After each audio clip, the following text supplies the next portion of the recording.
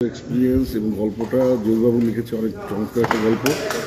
এবং আরও গত ছয় দিন শুটিং হয়েছে।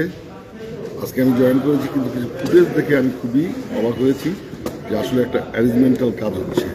প্রিয় বন্ধুরা, আসসালামু আলাইকুম। বরাবরের মতো আরেকটি নতুন ভিডিও নিয়ে হাজির হয়ে গেলাম আপনাদের সামনে। তো চলুন শুনে নেওয়া যাক, জিম্মি ওয়েব সিরিজ সম্বন্ধে কি বলেন আমাদের সবার প্রিয় অভিনেত্রী শিরিন শিলা। প্রথমবারই সবাই আমাকে অ্যাকশন দৃশ্যে দেখবে, আর এই ওয়েব সিরিজটা এখন তো ওটিটি প্ল্যাটফর্মের যুগ।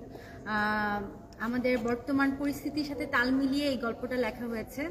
তো আমি আর ভাইয়া কাজ করছি খুব ভালো লাগছে।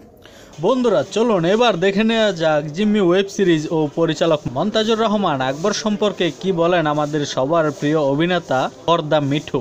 Web film web series যাই বলো এটা ইন্টারন্যাশনালি রিলিজ হবে দেখবে সারা পৃথিবীর লোক। সেই অ্যারেঞ্জমেন্টেই কাজটা এগিয়ে যাচ্ছে আকবর ভাই খুবই দক্ষ একজন ডিরেক্টর আমার গুরু। তিনি ওয়েব সিরিজ যেভাবে বানানো দরকার সেই প্রিপারেশন নেই ওয়েব সিরিজটা বানাচ্ছে।